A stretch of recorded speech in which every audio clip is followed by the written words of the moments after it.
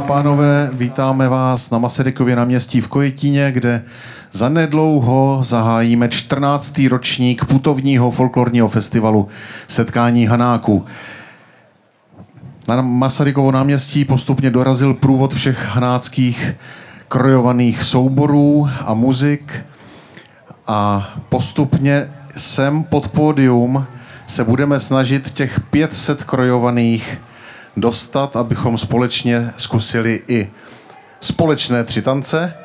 Potom narazíme slavnostně soudek piva, aby bylo taky dobře po těle. A ještě o půl jedné je pro vás připravena přehlídka krojů z Hané.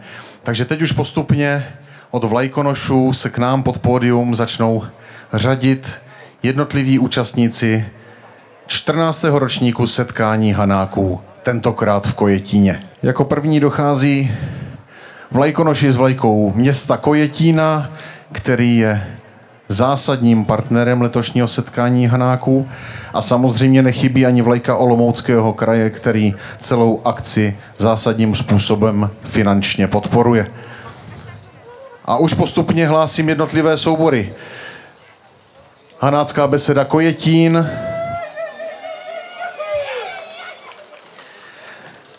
Muzika, kterou jste slyšeli na začátku průvodu, je Moravská veselka ze Sušice u Přerova.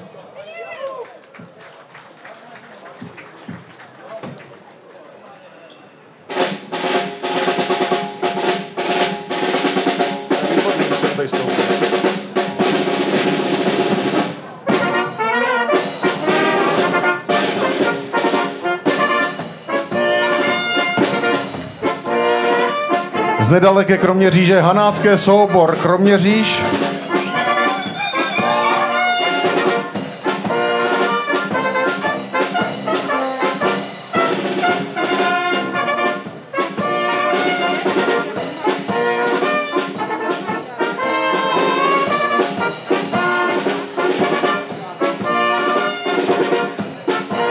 Vítáme Hanácké soubor Hruška.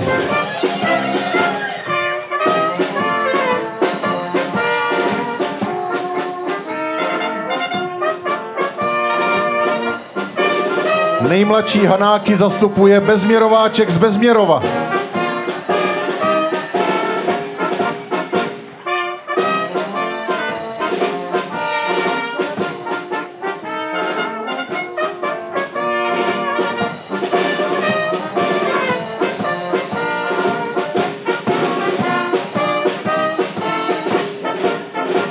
Přivítáme taky omladinu Martinice.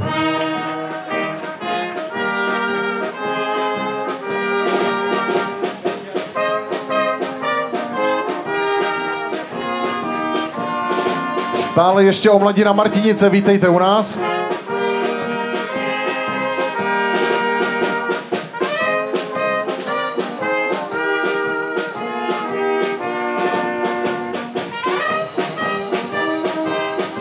Malá názvem, ale velká postavami. Cholinka z Choliny.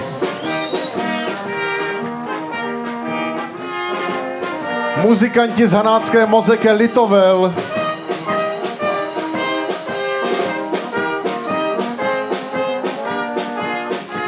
Zprostěhovaný prvé mládež, to znamená malý mánes.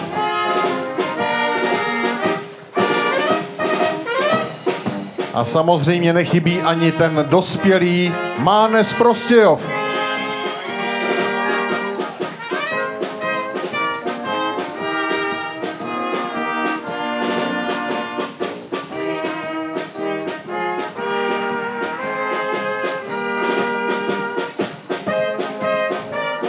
Početnou armádu přiváží hanácký soubor písní a tanců Klas Kralice na Hané.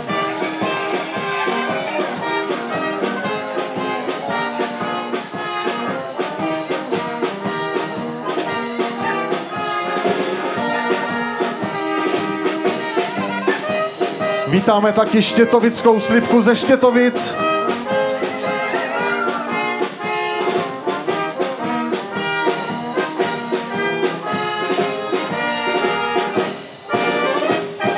Dorazila k nám také Richtářovská kasa z Richtářova.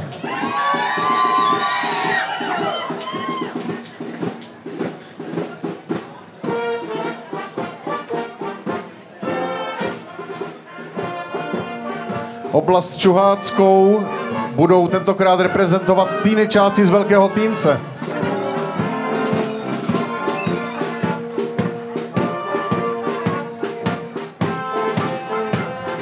Samozřejmě vítáme i manžele Henrichovi z Letonic.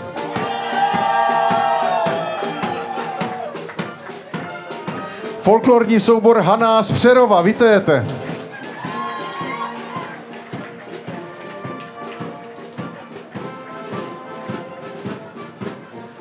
Nesmí chybět ani Hanačka z Litovle.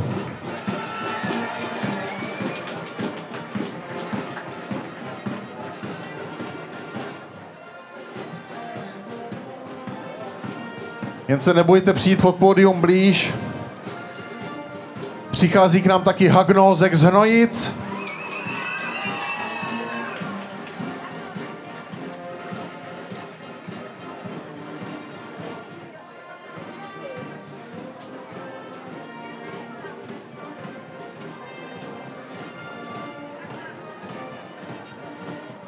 A jak já s oblibou říkám, Hanák má všude kořeny, ale jenom v Praze je Hanák opravdu doma. Spolek přátel a Hanáků a rodáků v Praze, Hanáci z Prahy, ahoj.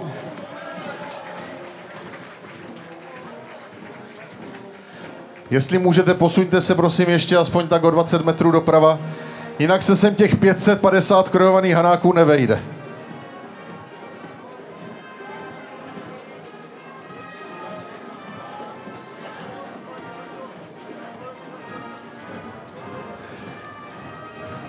Samozřejmě musíme přivítat taky Trnku Vyškov.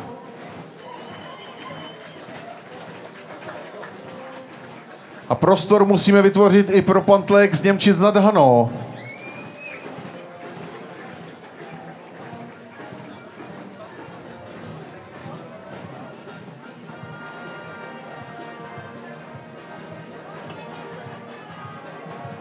Chlapi, který nemůžu přehlídnout. Hanácký mužský sbor Rovina Solomouce. A děvčata, který nechci přehlídnout. Cymbálová muzika Parádnica z Velké Bystřice.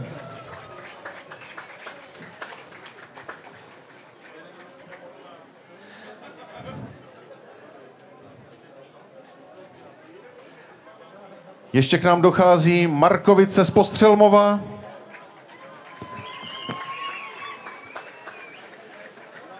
A v závěru průvodu nám hrála postřelmovská muzika z Postřelmova.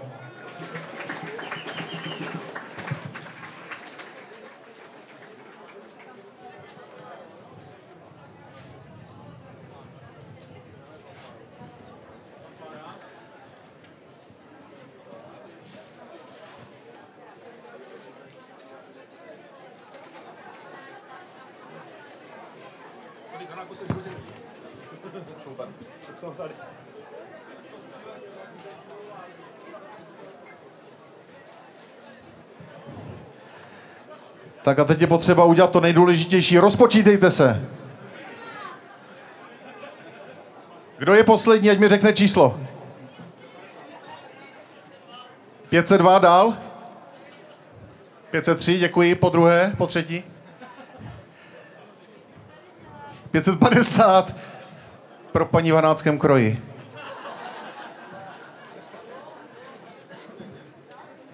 Tak přátelé, já myslím, že už se nám blíží poledne a je čas slavnostně zahájit festival. K tomu potřebuji zástupce města Kojetína, pana starostu Leoše Ptáčka.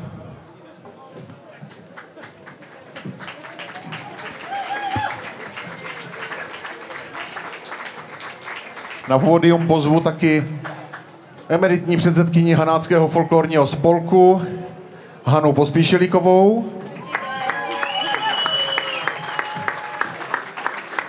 Nevím, jestli zde najdu někde pana faráře římskokatolické farnosti Kojetín Pavla Ryšavého.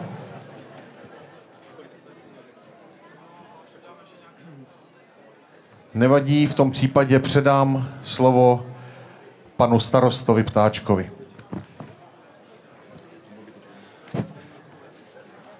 Dobré poledne, vážení přátelé Hanáci. Eh, my už jsme se jednou přivítali eh, s vedoucími souboru, tak já se možná trošku budu opakovat, tak vedoucí mi eh, odpustí. Já vás všechny srdečně vítám v našem malebném maloměstě v Kojetíně. Já jsem už ráno říkal, že my děláme strašně moc pro to, aby Kojetín byl znát, aby uh, v okolí získal, řekněme, zpátky to renomé a význam, který když si mýval. Děláme proto mnoho a vy k tomu dnes přispíváte, protože tohle je akce ohromného významu, já jsem z toho osobně úplně nadšený. My tady něco podobného máme náhody, ale teď ta prezentace je ještě podstatně bohatější. Tak já vám chci všem moc poděkovat, že jste mezi nás přijeli. Vidíte, že počasí jsme objednali, takže už můžeme bilancovat. Já jsem to říkal, že t- už teď to vyšlo, už teď to vyšlo. Teď tomu jenom ještě chybí vaše vystoupení a, a úsměvy na vašich tvářích. Tak moc krát děkujeme, že jste dorazili. Děkuji panu starostovi a poprosím, jestli si vezme mikrofon Hanka Pospíšilíková. S radostí. Dobré poledne, dámy a pánové. 14. ročník putovního folklorního festivalu doputoval sem do Kojetína. My jsme rádi, že jste přišli v takovém počtu. Jsem zde dnes v roli vašeho emeritního předsedy, ale to neznamená, že se od vás odlučuju. Miluju vás pořád i nadále a budeme spolupracovat a těším se na to. Užijte si dnešní den, když je krásné počasí, tak to je polovina úspěchu, takže věřím, že, že všechno dopadne dobře. Bavte se. No já možná poprosím pana starostu o tu kouzelnou formulku. Musíme ten festival nějak začít. Tak já bych ho zkusil považovat. Tak to, je, to mě doma zaskočilo. Kouzelnou formulku mám, mám zkrátka teď mávnutím ruky prohlásit dnešní slavnosti za zahájené? Tedy tak činím. Právě teď jsou slavnosti zahájené. Děkujeme.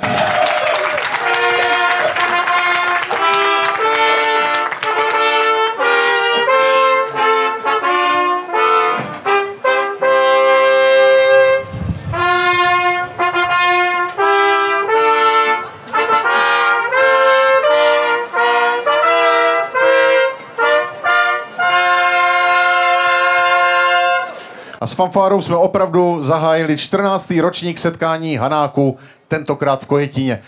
Víte všetci o nás a budeme se těšit, že se uvidíme ve spoustě bodů bohatého programu. V prvním z nich má být společný tanec, tři tance, jak je naplánovala Evička Zehnalová. Moravská veselka už se připravuje a myslím, že bude bude zajímavé a veselé zkusit si za sebou valčíček, tetku a stodolenku. Kdo neumí, přidá se, kdo umí, ukazuje ostatním a my to tady z hora budeme všechno počítat. Přátelé, nezapisujeme se do knihy rekordů, ale rekordy vzniknou. Takže připravte se k tancování a muzika to za chviličku rozpálí.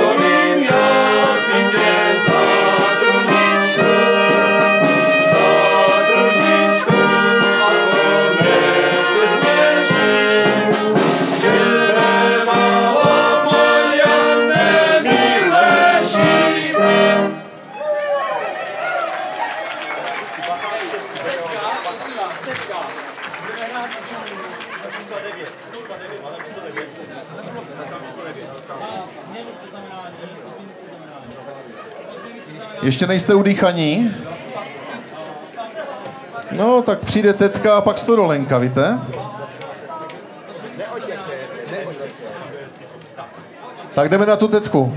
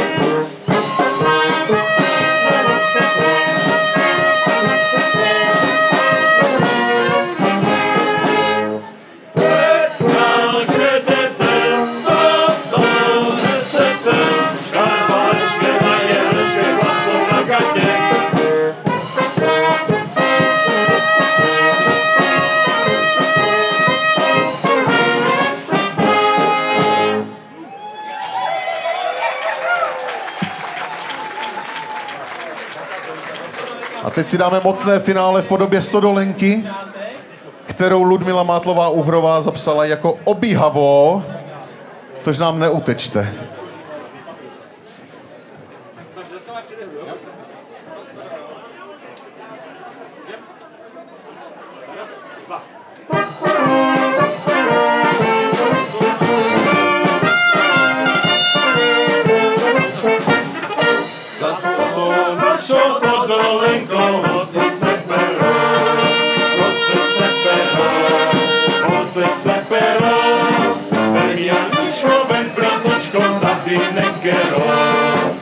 Já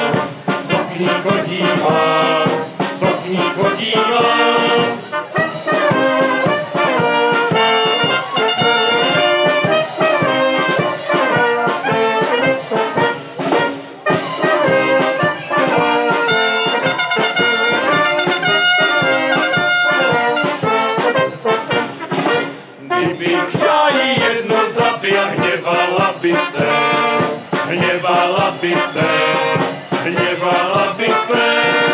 A kdybych tam potom přišel, vadila by se, vadila by se, vadila by se.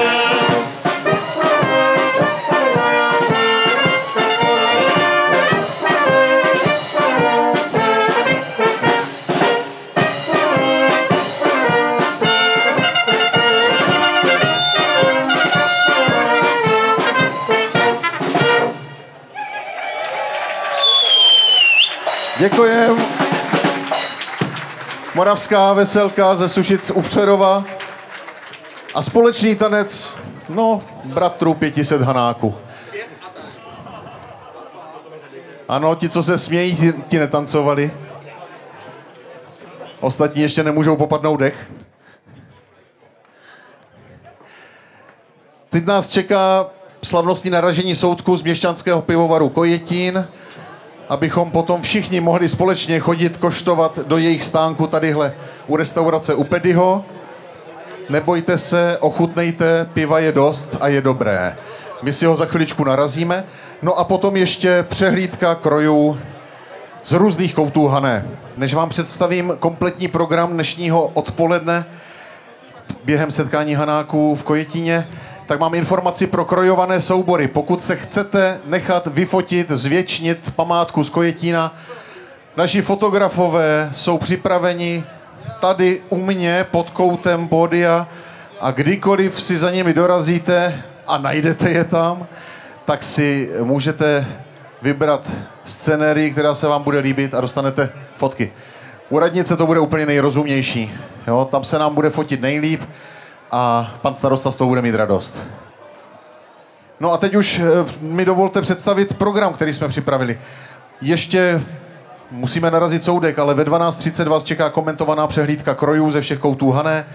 Ve 13 hodin už tohle pódium obsadí cymbálová muzika Parádnica, která bude doprovázet malé solové dětské zpěváky lidových písní z Hané, na což jsme opravdu hrdí a jsme za to rádi, že pořád děti chtějí zpívat lidovky hanácké.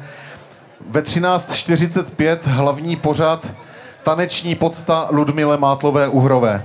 Už jsem trošičku naznačil, eh, sběratelka, etnoložka Ludmila Mátlová Uhrova má letos dvojité půlkulaté výročí a my právě proto v Kojetíně máme setkání Hanáku a právě proto jsme připravili tento pořad z jejich sběrů, z těch tanců, které ona pro další generace uchovala pohromadě. Takže taneční podsta Ludmile Mátlové, ve které figuruje asi 8 tanečních souborů folklorních z celé Hané. No, v 15.15 15 se připraví kojetinské hodové právo, které předvede samozřejmě kdo jiný než eh, místní chasa z Kojetína. V 16 hodin na Vyškovské ulici, kousíček odsud, budeme slavnostně odhalovat pamětní desku Ludmily Mátlové Uhrové a v 17 hodin tady začíná koncert kapely Tomáš Kočko a orchestr, což je world music, taková přesahová s moravskými kořeny. Samozřejmě nesmím zapomenout ani na malou scénu, která je za synagogou, jenom 200 metrů za námi, a kde eh, v, v parku na ulici Palackého se budou střídat od 13 hodin jednotlivé národopisné soubory z Hané. V rámci doprovodného programu si můžete vyzkoušet projížďky kočárem, možná jste někteří z vás už přijeli nebo plánujete odjet parním vlakem, který eh, by měl jezdit na trase Kroměříž, Kojetín, Tovačov a zpět.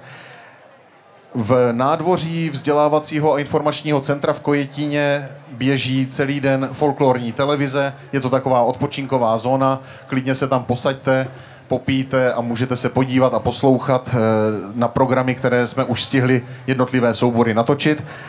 K dispozici vám budou taky prohlídky synagogy v Husově ulici, a případně po domluvě v konkrétní termíny exkurze do měšťanského pivovaru Kojetín. Musím taky upozornit na krásné výstavy ve vzdělávacím a informačním centru. Tou nejnovější je Ludmila Mátlová Uhrová, ale samozřejmě zmínit a rád musím i ztracenou tvář Hané, Kojetín v proměnách času, anebo když byla technika ještě v plenkách. Naší krojovou poradnu najdete tady pod pódiem vedle registračního stánku. Určitě se projděte po řemeslných trzích nebo po stáncích s občerstvením a užívejte si dnešní odpoledne tak, jak to mají hanáci rádi. Zatím se na chviličku odmlčím a vrátíme se se soudečkem. Přátelé, my jsme tady a to nejdůležitější, soudek kojetinského piva je tu taky s náma. No, je tady s náma taky Mirek Hrabčík, který to musí ochutnat. A je tady starosta města Kojetína, pan Leoš Ptáček, ale hlavně je to taky předseda představenstva měšťanského pivovaru Kojetín. Pane starosto, pane předsedo představenstva, zkuste nám představit pivovar Kojetín. Velmi rád vám představím podnik, na který jsme velmi pišní. My jsme se e, asi před třemi, možná čtyřmi lety dohodli se skupinou přátel, Začali jsme někde na počtu 12-15, skončilo to na čísle 60 a stali jsme se akcionáři poměrně pozoruhodného projektu. My jsme po 109 letech obnovili tradici vaření piva v Kojetíně. E, velmi jsme stáli o to, aby náš pivovar nesl ve svém názvu Kojetín. Nechtěli jsme žádný název, jako je Zuber, jako je Holba, Gambrinus. My jsme trvali na tom, že se bude pít kojetín, kojetínské pivo, no a potom jsme jednotlivé ty uh, druhy piv nazvali podle spolků působících v Kojetíně. To znamená, desítku máme chovatele, jedenáctka rybář, dvanáct, pardon, jedenáctka včelař a domnívám se, že budeme narážet slavnostně dvanáctku rybáře, je to tak? Třináctka hasič, čtrnáctka myslivec a tak dále. No a uh, dnes už jsme Máme za sebou víc než rok provozu, máme první nepřehlednutelné úspěchy. Pokud byste chtěli ochutnat naše pivo, tak tady je stánek, tady po mojí levé ruce. Případně můžete zajít i na jídlo na náš, e, přímo na naši měšťanskou besedu na Kroměřížské ulici a pivo ochutnat. No tak e, já zase předám slovo moderátorovi. Takže je čas na tu dvanáctku rybáře. No, e, asi bude důležité, abychom se, abychom se nechali vést eh, panem Sládkem, panem Medunou. A jak tomu doplním, Dušan Meduna není sládek, je to šéf výčepní. E, sládka máme mladou krev z Brna, vynikající sládek, opravdu předvádí nevšední kvalitu. A Dušan je ten nejpovolanější, protože nará- s narážením beček má snad 30 letou zkušenost, bych to viděl. No tak šup tam s ním. Tady je vidět těch 300 roků rozdílu, když jsme naráželi litovelský soudek ze dřeva. Ano, je to teďka všechno trošku jiné. Já jsem tady nabízel, pokud budete mít někdo zájem a budete chtít absolvovat komentovanou prohlídku, tak eh, klidně můžete přijít za náma, já tam budu čekat. Někde, ne, než bude zase další program, tak možná hodinu a půl určitě tam vydržím a, a můžete si prohlédnout tu novou moderní technologii, která opravdu už dlouho, dlouho není od dřevěných sudek. No a než se nám načepují první půl litry čerstvě naražené dvanáctky z měšťanského pivovaru Kojetín, tak já chci jenom připomenout, že měšťanský pivovar Kojetín má uchvatný slogan. V Kojetíně se i ležák musí snažit, což si myslím, že je opravdu, to by se dalo tesat. Krásná je i historie vaření piva v Kojetíně. Ta se tady datuje už od poloviny 16. století. Dokonce v 18. a 19. století zde měli pivovary dva. No ale potom 100 let trvalo, než se místní právě rozhodli výrobu kojetinského piva obnovit. Takže už se nám to, už se nám to pění, už se nám to chystá. A sotva si přiťukneme, tak na pódium pustíme Dominika Špičáka a všechny jeho krásné, krojované, které vám budou chtít jednotliví zástupci subregionu Hané představit. Já bych možná doplnil ještě pana moderátora. Eh, Tady skutečně je v Kojetině bohatá historie vaření piva. My jsme tu dokonce měli pivovary dva. Jeden se jmenoval Městský a druhý Panský. Nám ani jeden název nepřišel dostatečně vhodný, takže jsme zvolili takovou variantu k tomu a nazvali jsme ten nový pivovar Měšťanským. My bychom chtěli upozornit, že všem, kterým už bylo 18 roků, je potřeba připomínat pitný režim, takže se inspirujte.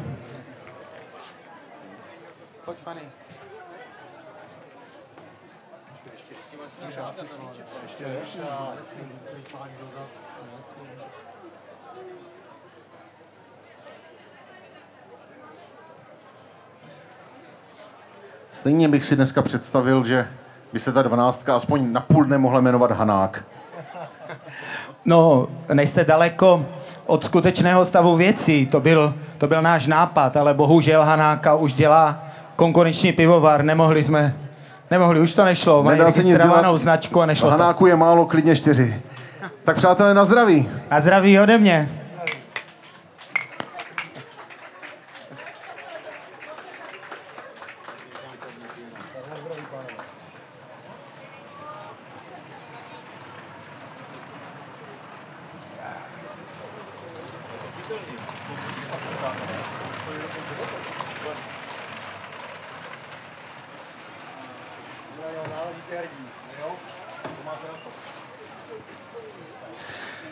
Tak teď už je to certifikované, to pivo je opravdu dobré. Dvanáctku najdete ve stánku. No, teď to začne. Dvanáctku najdete ve stánku před restaurací u Pedyho.